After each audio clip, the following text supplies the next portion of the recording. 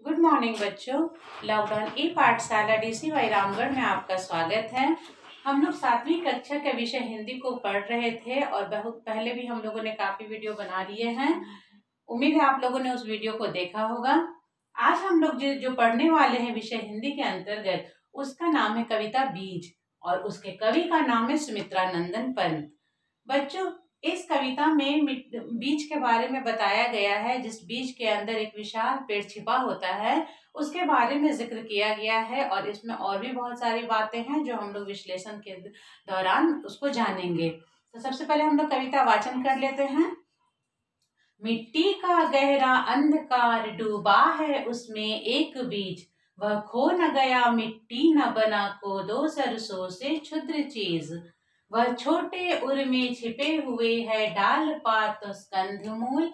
गहरी हरितिमा की संस्कृति, बहुरूप रंग फल और फूल। वह है मुट्ठी में बंद किए वट के पादप का महाकार। संसार एक, आश्चर्य एक, वह एक बूंद सागर अपार। कविता छोटी सी है बच्चों, लेकिन इसमें बहुत गुड़ अर्थ छिपे हुए हैं, बहुत रहस्य वाली बातें छिपी हुई हैं। हम लोग एक एक करके उनको जानते हैं। मिट्टी का गहरा अंधकार डूबा है उसमें एक बीज। हम सभी जानते हैं कि बीज को दबाया जाता है, मिट्टी के अंदर पानी वगैरह दिया जाता है, तब जाकर के उससे पौधा निकलता है। लेकिन कवि यहाँ कहना चाह रहे हैं कि मिट्टी के गहरे अंधकार में एक बीज को डूबा हुआ है। वह खो न गया, मिट्टी न बना। वह गहरी मिट्टी के अंधकार में डूबने के बावजूद ना वह खोया और ना ही मिट्टी के साथ मिट्टी बना।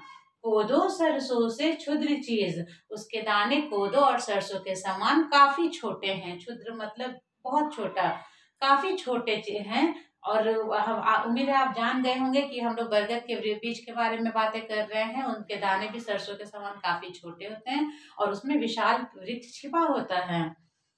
आगे बढ़ते हैं हम लोग।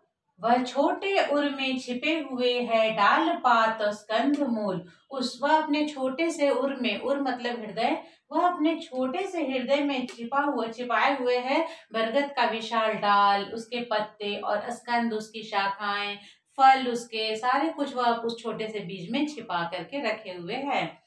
गहरी हरितिमा की संस्कृति, बहुरूप रंग फल और फूल, जिस बरगद वृक्ष से चारों तरफ़ हरियाली ही हरियाली नज़र आती है, वह शीतलता प्रदान करती है और काफ़ी लोगों के को लाभान्वित करती है।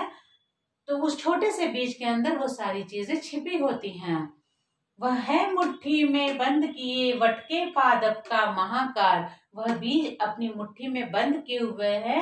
वट मतलब यहाँ पर है, बरगद के लिए कहा गया है और पादप मतलब पेड़, पौधे के लिए। तो अब बरगद का, पेड़ को वह, का महाकार वह अपने छोटे से हृदय के अंदर छिपाए हुए है। संसार एक, आश्चर्य एक, वह एक बूंद सागर अपार। एक बूंद की भांति वह छिपा हुआ है और एक बूंद के अंदर ऐसा प्रतीत होता है जैसे संपूर्ण सागर समाया हुआ है। जैसे एक बीज के अंदर वह पूरा अपना संसार, पूरा एक विशाल वृक्ष छिपाया रहता है। उसी तरह से ठीक उसी प्रकार, जिस प्रकार एक बूंद में सागर छिपा हुआ है, ऐसा प्रतीत होता है।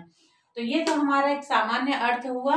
इस कविता के माध्यम से सुमित्रा नंदन पंत हमें ये बताना चाहते हैं कि मनुष्य के हृदय भी उस सरसों की ही भांति होता है और मनुष्य के हृदय का, का जो मन भी होता है उसके अंदर भी अपार संभावनाएँ रहती हैं। मनुष्य के मन मस्तिष्क में भी अपार संभावनाएँ रहती हैं। ज़रूरत होती है कि समय आने पर उनको उभारने की निखारने की और सारे संसार को लाभान्वित करने की। हर कोई में जैसे वट वृक्ष के वट वृक्ष के का पूरा संसार छोटे से बीज में छिपा है वैसे ही हमारे अंदर भी संभावनाएँ छिपी हैं। हमें भी उसको समय के साथ किसी, वह खो न गया मिट्टी, न बना वह किसी के साथ मिल करके न खोता है, न मिट्टी के साथ मिट्टी बनता है। कहने का तात्पर्य यह है कि वह किसी बुरे व्यक्ति के साथ, किसी दुसंगति के, कुसंगति के साथ वह न कुसंगत होता है और न ही अपने गुणों को अवगुणों में परिवर्तित करता है, न ही उसे मिट्टी में मिलाता है। उसको जब प्रभावित होना होता है और जब अपने आप को संसार के सामने प्रस्तुत करना होता है, वो करता है। तो कविता यही आज हमारी समाप्त होती है और अगले वीडियो में हम इसके प्रश्न उत्तर के साथ फिर से एक साथ मिलेंगे। तब तक के लिए आज का वीडियो हम यही समाप्त करते हैं। धन्यवाद।